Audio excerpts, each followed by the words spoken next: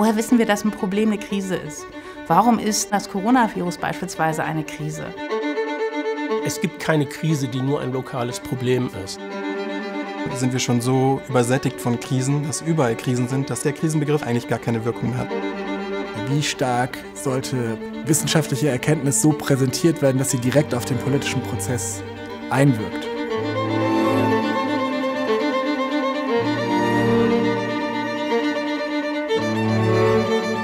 Haben ja eigentlich ein Leben im Dauerkrisenmodus, ne, wo Krisen im Entscheidungsmodus getroffen werden. Denken Sie an all die Krisengipfel. Es wird gerungen bis zum letzten. Es ist sehr emotional und ähm, das macht natürlich etwas mit politischen Systemen.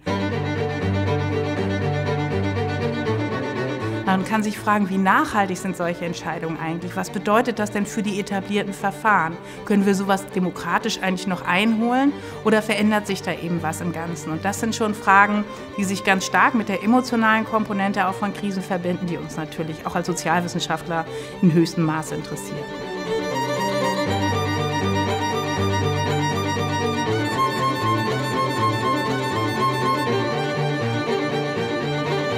Krise ist am Ende des Tages tatsächlich immer ein Phänomen gesellschaftlicher Wahrnehmung.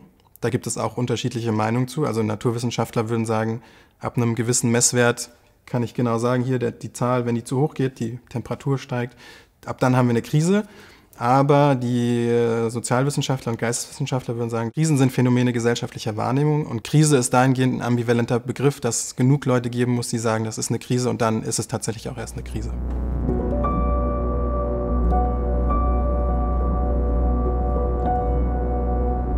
Woher wissen wir, dass ein Problem eine Krise ist?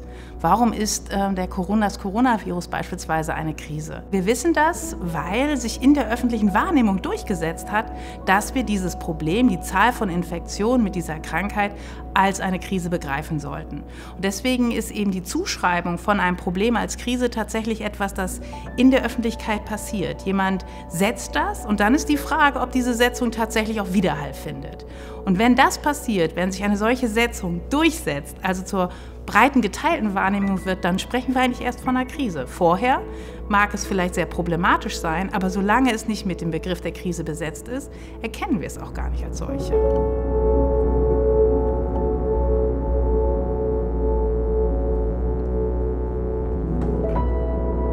Wenn man sich damit beschäftigt, stößt man eben darauf, es gibt Krisen, die sind, wenn man versucht, das Krisenartige zu messen oder nachzuweisen, vielleicht gar nicht so krisenartig. Und dann gibt es Krisen, die vom Ausgangspunkt der Messbarkeit eigentlich schon sehr, sehr lange sehr, sehr krisenhaft sind, wie Klimaveränderungen, aber nicht in der breiten Bevölkerung als solche wahrgenommen werden. Ja, also äh, der, der, Klimawandel als Krise ist natürlich in der Gruppe der Expertinnen und Experten seit Jahrzehnten als solche auch diskutiert, aber in der breiten Öffentlichkeit, dass das EU-Parlament zum Beispiel den Klimanotstand ausruft, das ist ein Phänomen des vergangenen Jahres. Dass aber dann erst bestimmte Krisendynamiken, also einen politischen Handlungsdruck, der zu politischen Veränderungen führt, äh, tatsächlich erst initiiert. Ja, also darin liegt das Potenzial des Krisenbegriffs. Ähm, darin können aber auch Gefahren liegen, weil sowas auch politisch instrumentalisiert und missbraucht werden kann.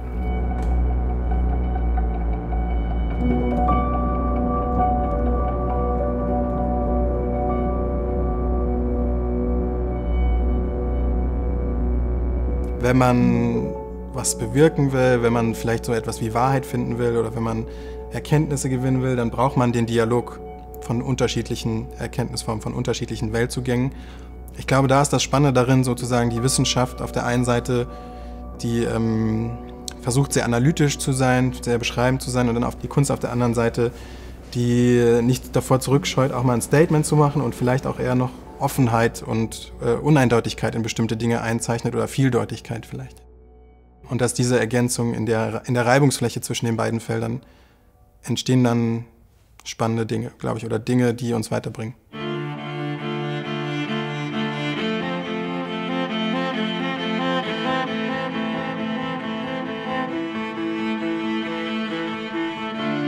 Den Künstler treibt ja auch letztlich die Gesellschaft um und das, was in der Gesellschaft passiert. Kunst reflektiert die Gesellschaft und die Wissenschaft reflektiert die Gesellschaft ja auch. Nur eben jeder auf eine andere Art und Weise. Die Wissenschaft eben eher rational mit Fakten Und die Künstler reflektieren sie emotional. Wir wollen nicht mit äh, Zahlen oder mit Dokumentationen uns diesen Krisen annähern, sondern eher mit äh, persönlichen Statements, dass die Krisen eher fühlbar werden.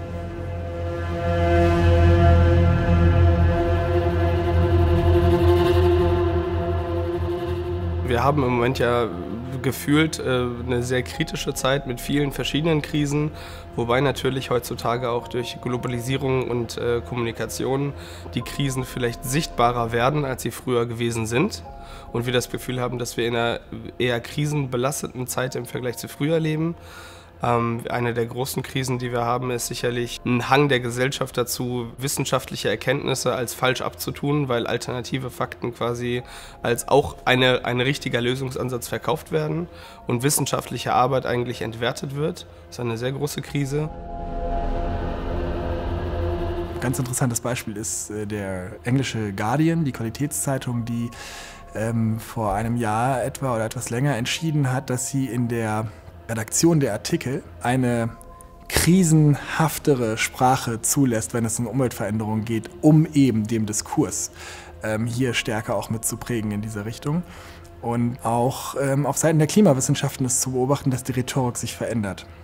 Das scheint eine bewusste Entwicklung auch zu sein, eben vor dem Hintergrund, dass zu lange äh, nicht auf diese wissenschaftliche Expertise reagiert wurde, dass sie nun auch in einer anderen Rhetorik äh, vorgetragen wird, um dem politischen Entscheidungsprozess stärker zu prägen.